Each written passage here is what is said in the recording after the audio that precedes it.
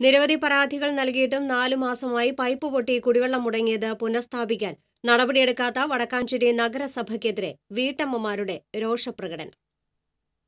വടക്കാഞ്ചേരി നഗരസഭയിലെ പതിനഞ്ചാം വാർഡിലെ അകമല ചുങ്കംകുന്ന് മിച്ചഭൂമിയിൽ താമസിക്കുന്ന ഇരുപത് കുടുംബങ്ങളാണ് കടുത്ത വേനലിൽ പൈപ്പ് പൊട്ടിയതിനെ തുടർന്ന് കുടിവെള്ളം കിട്ടാതെ വലയുന്നത്.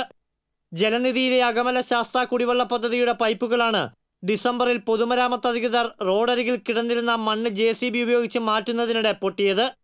ഇരുന്നൂറ്റി ഇരുപത്തി അഞ്ച് മീറ്റർ നീളമുള്ള പൈപ്പ് റോഡരികിൽ ഒരടി പോലും താഴ്ത്താതെ ഇട്ടതാണ് പൈപ്പുകൾ പൊട്ടുന്നതിന് കാരണമായതെന്ന് ഇവർ പറയുന്നു.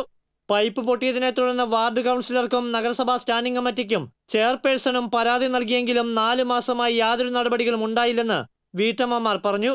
ഈ ഭാഗത്തുള്ള കാര്യങ്ങൾ ചെയ്യാത്തത് ഞങ്ങളെന്നെ വല്ല പേപ്പറൊന്ന് വെട്ടിയതാണോ? ഞങ്ങളെ വോട്ട് ചെയ്യാതെയാണോ? എന്ത് കാരണം കൊണ്ടാണ് ഞങ്ങളെ ഇങ്ങനെ വേർപ്പെടുത്തി കാണുന്നത്? പ്ലാസ്റ്റിക്കിന്റെ പൈപ്പ് അര ചായം പോലും താത്താതെ ഇട്ടിട്ട് ഞങ്ങൾക്ക് എന്നും പൈപ്പ് കൂട്ടി നേരിയാക്കില്ല ഇതിനൊരു പരിഹാരം ഉണ്ടാക്കി തരണം.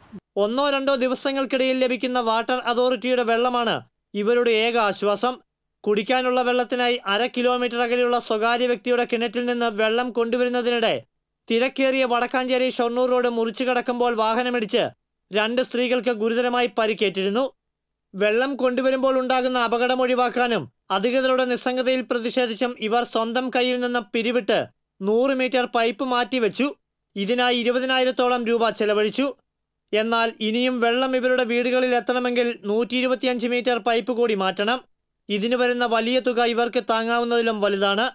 ഒരു രാഷ്ട്രീയ പാർട്ടികളുടെയും സഹായമില്ലാതെ ഒഴിഞ്ഞ കുടങ്ങളുമായി നഗരസഭയ്ക്ക് മുന്നിൽ കുത്തിയിരിപ്പ് സമരം നടത്താൻ ഒരുങ്ങുകയാണ് കുടിവെള്ളം മുട്ടിയ വീട്ടമ്മമാർ.